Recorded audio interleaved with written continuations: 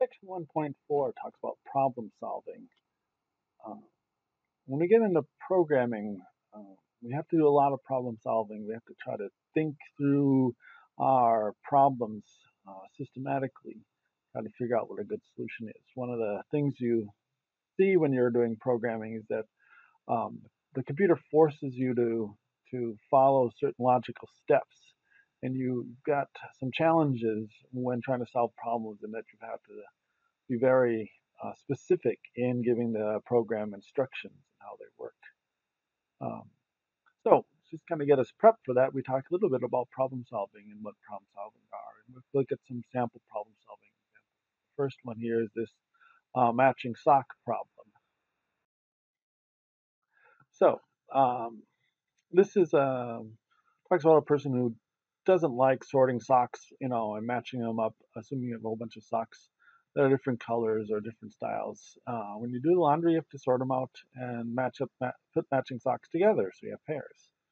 Um, so uh, there's a suggestion here that you just throw all your socks unmatched into a big drawer, and every morning you just grab one sock, and then you uh, keep reaching until you grab a matching sock, and how that works. So there's some questions about that process. Um, so we have three sock types, A, B, and C. Uh, sock type A is pulled first.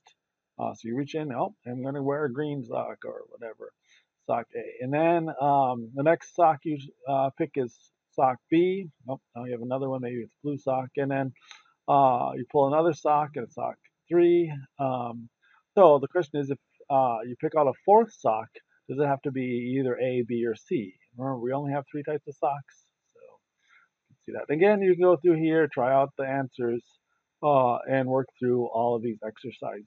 So it just kind of works you through some of this logic and problem solving, gets some practice going.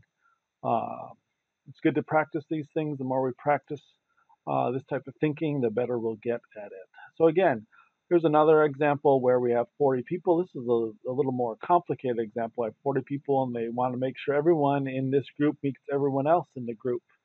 Uh, how we do that. So starts off, we say, well, we have a, an inner group of 20 people, an outer group of 20 people, and then they just go in uh, circles every um, every 30 seconds. We'll have someone in the outer circle shuffle one position over, and then they'll all shake hands that way. But that doesn't work. So yes, no.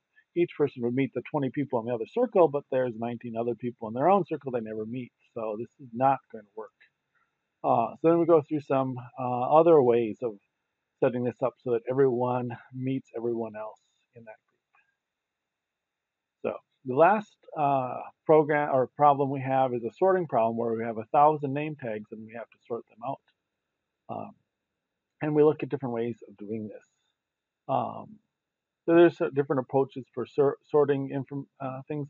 Um, I don't know if you ever sorted things like, for example, every time I give an exam, I have all the exams. I have to sort them by name, by student last names. I have to do something similar to this. And again, I do this approach where I put them into piles and then sort each piles.